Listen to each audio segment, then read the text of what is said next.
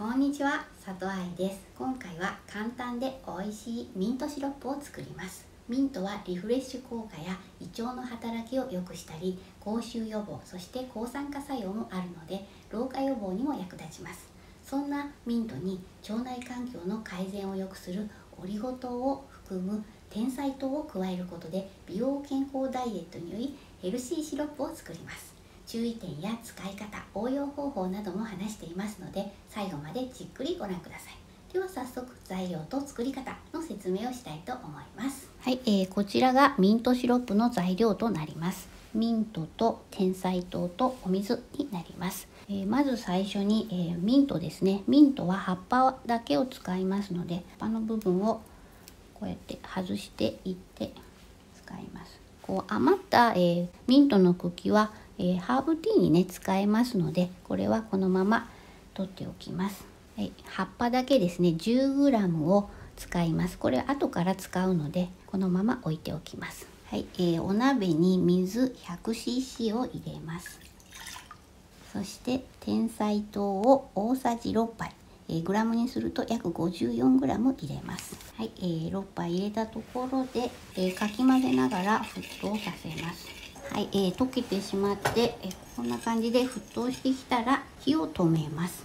火を止めたところに、えー、先ほど用意しておいたミントの葉っぱをですねこちら、え、アップルミントを今回は使っています。こんな感じで加えたら蓋をして10分間蒸らします。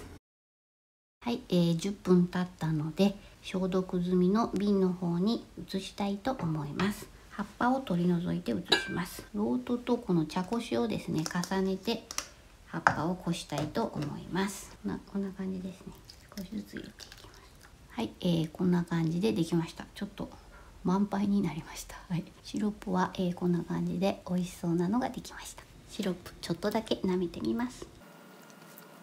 ミントの香りがして甘くてとっても美味しいです。こちらですね残った、えー、ミントの葉っぱはですね先ほど取っておいた茎と一緒にティーにしても大丈夫です。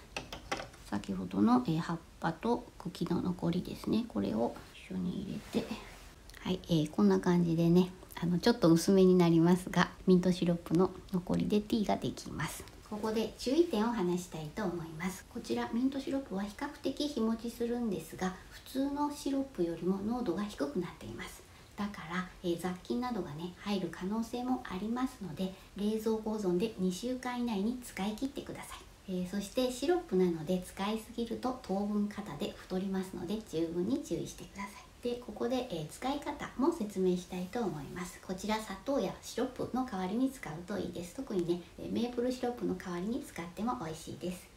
例えばヨーグルトに入れても美味しいです。1回に私は小さじ1杯くらい使うようにしています。他の使い方としては、え、パンケーキにかけたりとかあとはですねこちらミントシロップを炭酸水に入れるとミントソーダになります。レモンなどもね垂らして飲むと美味しくなります。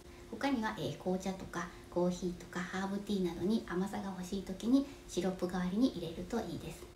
あとはですね私は手作りのケーキや、えー、クッキーなどに砂糖の代わりに使うことも多いです、えー、こちらミントシロップ小さじ1杯で約10キロカロリーとなっています。カロリーの、えー、取りすぎには十分に注意しながら美味しく食べてみてください。ここで応用方法も話したいと思います。今回はアップルミントの葉っぱを使ったんですがスペアミントの葉っぱを使っても美味しいです。他にもいろんなミント種類がありますので好みのミントの葉っぱを使って作ってみてください。あと今回は天才糖を使いましたが天才糖ではなくても大丈夫です。ただ、えー、生成されていない糖きび砂糖とかですね黒砂糖とかいろいろありますよね。生成されていないあのミネラルとかが多い砂糖を使うとより健康的になります。応用もいろいろできて、えー、ヘルシーで美味しいシロップとなります。とっても簡単に作れるので是非作ってみてください。ミントや天才糖の詳しい効果につきましてはブログ記事の方に書いています。興味がある方は概要欄の方で確認してみてください。あなたの健康ライフを応援しています。